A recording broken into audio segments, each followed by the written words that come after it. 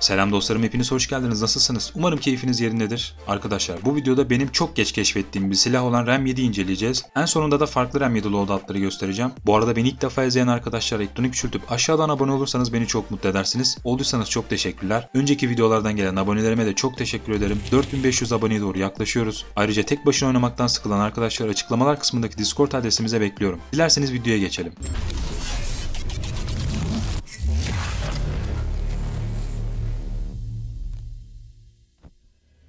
Öncelikle RAM 7'nin hasar dağılımıyla başlayalım arkadaşlar. RAM 7'nin karışık bir hasar dağılımı yok. Kol ve bacaklara, karın kısmına ve göğüse 18'e 28 arası hasar vurursunuz. Kafaya ateş ettiğinizde ise 27 ile 42 arası hasar vurursunuz. Örneğin maksimum hasar mesafesindeyken yani rakip yakındayken kafaya 42 vururken en düşük hasar mesafesinde yani rakip uzaktayken 27 vurursunuz. İki tane hasar yazmamın sebebi bu arkadaşlar. Silahın RPM'i yani dakika başına attığı mermi sayısı 880'dir. FAMAS'ı saymazsak M13'ten sonraki en hızlı atış hızına sahip silahtır kendisi. Bu silahla rakibi en hızlı öldürme süreniz 204 ms ile 340 ms arası değişir. Bu da 0.2 saniye ile 0.3 saniyeye denk geliyor. Örneğin kafayı isabet ettirmediğinizi düşünelim. Rakibinizin koluna, bacağına, karnına veya göğsüne ateş ettiğinizi varsayalım. Eğer full zırhlı rakibiniz 30 metre ve yakınınızdaysa mermi başına 28 hasar vuracağınız için rakibiniz 9 mermide ölecektir. Rakibiniz 30 metre ve 45 metre arasındaysa mermi başına 23 hasar vuracağınız için rakibinizi 11 mermide öldürürsünüz. Eğer rakibiniz 45 metre ve daha uzandaysa mermi başına 18 hasar vuracağınız için rakibinizi 14 mermide öldürürsünüz. İşte silahlardaki hasar mesafesinin önemi burada devreye giriyor arkadaşlar. Ayrıca lightweight taktığınızda bu hasar mesafesi %25 düşerken monolitik taktığınızda ise bu hasar mesafesi %7.5 artar. Gelelim silahın nişan alma süresine. RAM 7'nin nişan alma süresi ortalama 234 ms'tir. Bu da yaklaşık 0.2 saniyeye denk geliyor. Silahta hiç beklenti takıl değilken nişan alma hızınız 0.2 saniyedir. Normal koşu yaparken aniden nişan alma hızınız 267 ms'tir. Fakat depar dediğimiz taktik koşusu yaparken nişan alma hızınız 400 ms'e düşüyor. Bu da yaklaşık 0.4 saniyeye eşdeğerdir. Tam ideal bir nişan alma hızına sahiptir. Silahın reload süresi 1.62 saniyedir. Eğer Slade of Hand kullanırsak bu süre 1.27 saniyeye düşüyor. Ortalama bir şarjör değiştirme hızına sahiptir. Buna ek olarak silahla hareket hızımız %95'tir. Eğer nişan alınırken hareket edersek bu hız %54'e düşüyor. Gelelim RAM 7'nin barrel kısmına.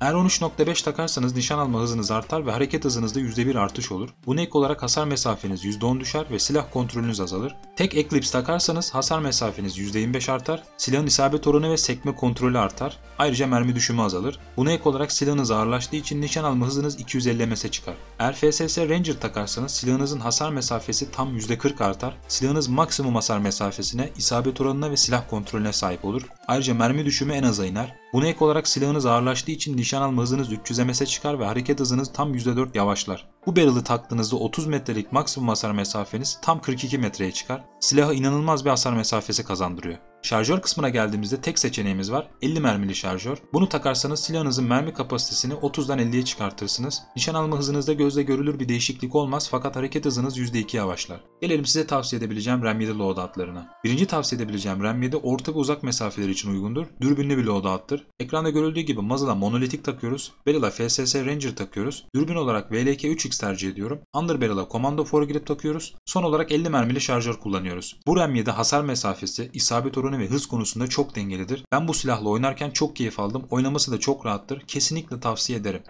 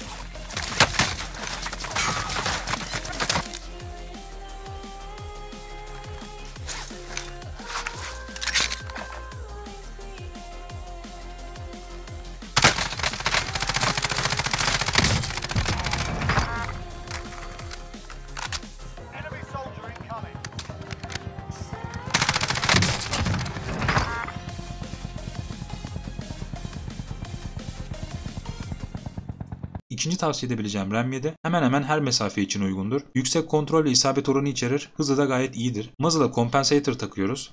Barrel'a FSS Ranger takıyoruz. Dürbün olarak PBX tercih ediyorum. 50 mermili şarjör takıyoruz ve son olarak rubberized grip tape takıyoruz. Bu RAM 7 ile her türlü alanda savaşabilirsiniz. Kontrolü ve isabet oranı çok iyidir.